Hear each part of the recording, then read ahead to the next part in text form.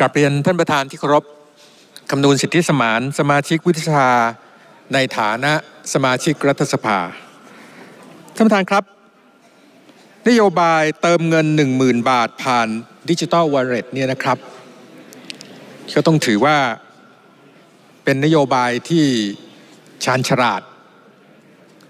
กล้าหาญแต่ก็แฝงความสุ่มเสี่ยงเอาไว้อย่าง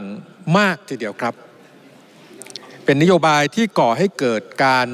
โต้แย้งมากมาย ในเอกสารนโยบาย 14 หน้า ครั้งนี้ท่านใช้คำว่า จุดชนวน กระตุ้น กระตุก และก็ถือว่าเป็นจุดเริ่มต้นทั้งหมด เปรียบเสมือนเป็นกระดุมเม็ดแรกของนโยบายทั้ง 14 หน้า ถ้ามันสำเร็จเกิดการใช้จ่าย โมโหลานในรอบ 6 เดือน ด้วยจำนวนเงินที่ทุ่มลงไป เกือบเกือบเท่า หรือเท่ากับงบลงทุนใน 1 ปีงบประมาณ โครมเดียวเนี่ยนะครับ เกิดการหมุนของเศรษฐกิจหลายรอบในรอบ 6 เดือน แล้วก็ก่อนหน้าที่จะเติมเงินลงไป เพราะผู้ผลิตจะต้องมีการเตรียมผลผลิตไว้ขายเนี่ยนะครับ ผลสรุปมันก็ดีครับ แล้วผมเห็นด้วยครับว่าการที่ขออนุญาตเอ่ยนามพักเพื่อไทยขึ้นมาเป็นแกนนำในรัฐบาลครั้งนี้เนี่ยเป็นเรื่องสำคัญอย่างยิ่งครับ เพราะเป็นการเปิดหน้าใหม่ของภูมิรัฐศาสตร์การเมืองไทย อยากจะพูดว่าลงทุนไปสูงมาก เดิมพัน สี่ปีนี้ไว้สูงมาก แต่ท่านนายกก็ได้กรุณากล่าวไว้ด้วยถ้อยคำที่มากกว่านี้ก็คือว่า ไม่ใช่แค่สูงมาก แต่ว่าท่านเทหมดหน้าตักคือผมอยากจะพูดถึงโครงการนี้เพราะว่าการเทหมดหน้าตักของท่านในครั้งนี้เนี่ยมันไม่ใช่หน้าตักของพรรคเพื่อไทย ไม่ใช่หน้าตักของพรรคร่วมรัฐบาลชุดนี้เท่านั้น แต่เป็นหน้าตักของประเทศไทย ใช่หรือไม่ครับ งบประมาณสูงเท่างบลงทุนในหนึ่งปี เทไปโครมเดียว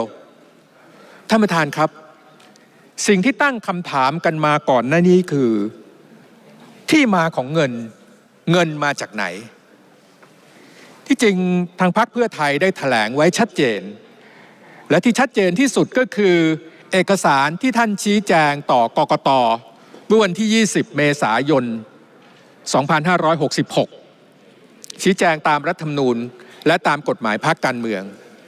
ท่านชี้แจงไว้ว่าเงินทั้งหมดจะมาจากการบริหาร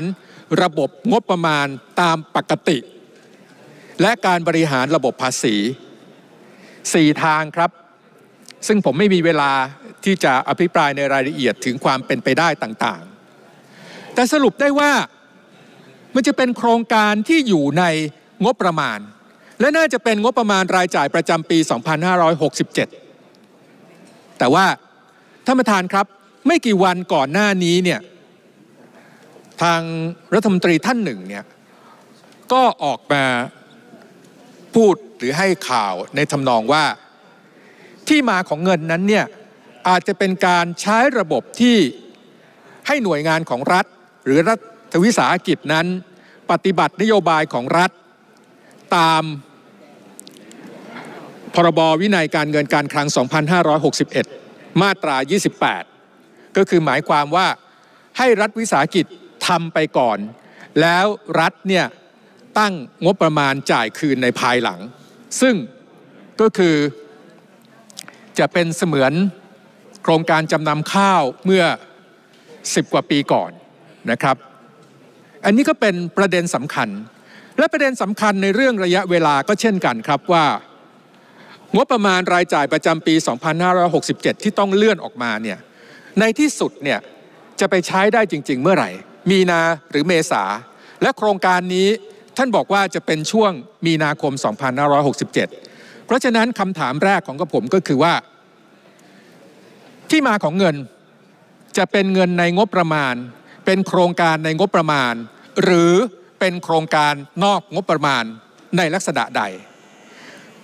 คำถามที่สองเมื่อรวมกับโครงการเร่งด่วนที่หนึ่งเรื่องการแก้ปัญหาหนี้สิน ซึ่งรวมถึงการพักหนี้แล้วเนี่ยนะครับ จะต้องใช้เงินอีกเท่าไหร่ เมื่อรวมสองโครงการแล้วเนี่ยรวมใช้เงินเท่าไหร่ และเป็นโครงการในงบประมาณหรือนอกงบประมาณ และคำถามสุดท้าย เพราะมีเวลาอยู่แค่นี้ครับ ผมเป็นห่วงอยู่นิดหนึ่งครับว่า เมื่อแหล่งที่มาของเงินยังมีปัญหาเนี่ยนะครับ มันมีความเป็นไปได้ไหมครับว่าจะมีการไปแตะสินทรัพย์อื่นของประเทศ ที่ถูกมองว่าประเทศเรามีอยู่มากเพียงพอ นำมาบริหารจัดการให้เกิดประโยชน์สูงสุด เช่น ทุนสำรองระหว่างประเทศ เหมือนที่ในอดีตรัฐบาลพักของท่านเนี่ยแถลงนโยบายในที่นี้ครับ แล้วก็บอกว่าจะบริหารสินทรัพย์ของประเทศให้เกิดประโยชน์สูงสุด ตอนนั้นเนี่ยมีแนวความคิดที่จะตั้งกองทุนความมั่งคั่งแห่งชาติ แต่ในที่สุดตลอด 4 ปี หรือไม่ถึง 4 ปีเนี่ยก็ไม่อาจจะตั้งได้ ราะมีความคิดเห็นที่แตกต่างมาก ผมจึงขออนุญาตฝากคำถามไว้3คำถามเพียงเท่านี้ ทั้งที่ใจอยากจะพูดมากกว่านี้เยอะครับ แต่ว่าติดขัดด้วยเวลากราบขอบพระคุณครับ